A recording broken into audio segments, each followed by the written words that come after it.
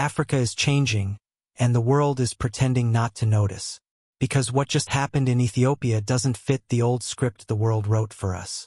Our youth are bold. Our cities are evolving. Our industries are waking up. And somewhere behind quiet factory doors, Ethiopia just crossed a line no one expected 300 drones built in just three months. No applause, no global headlines, no foreign advisors waiting with clipboards, just Africans building.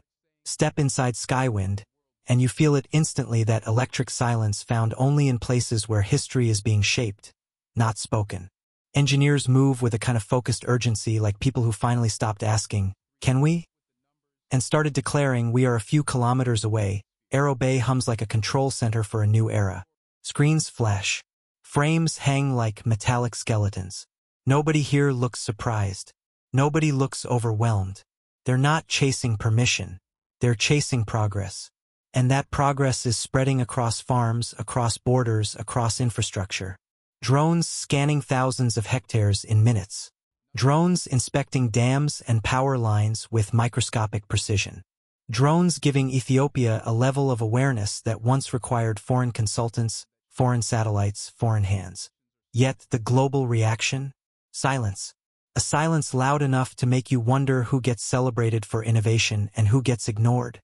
Critics rushed in with predictable lines. They're just assembling parts. They're not really manufacturers. But they forgot something important. Every great drone nation began exactly this way.